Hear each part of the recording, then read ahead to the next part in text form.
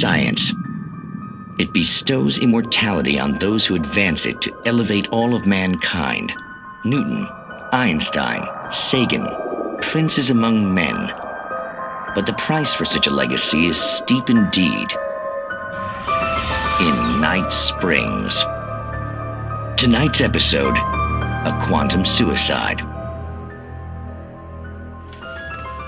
If our lives are already written, it would take a courageous man to change the script. Having called a press conference, Dr. Barclay Colvin is about to demonstrate that very courage.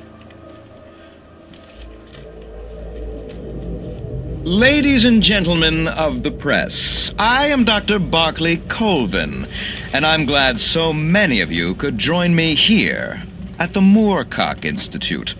Tonight, I'm going to give a practical demonstration of the many worlds interpretation. As you can see, this is a loaded 9mm pistol. It shall be part of a thought experiment.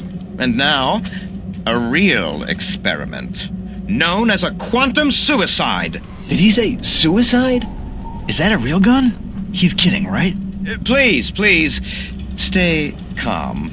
There is no risk. Observe what occurs when I place the weapon against my own forehead.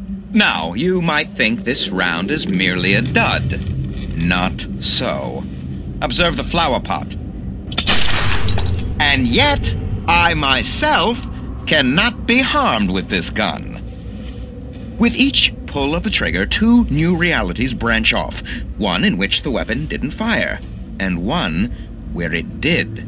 With my machine here, I have ensured that this reality is always the former. I have bestowed upon myself quantum immortality.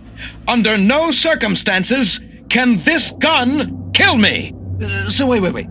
What you're saying is that every time you pull the trigger, in another reality, you die? Yes, yes, of course, but that's completely trivial. There's an infinite number of things that could happen at any moment, and they always do happen somewhere. The point is, this one thing did not happen here. You're insane, Colvin. Insane? Insane? Hey, was this thing supposed to be plugged in? I stumbled on it. You fools! Gaze upon quantum immortality.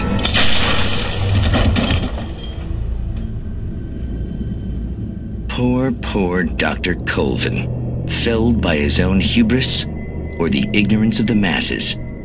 Perhaps he should have left the crate unopened, the decaying atom unobserved. Curiosity often kills the cat. In Night Springs.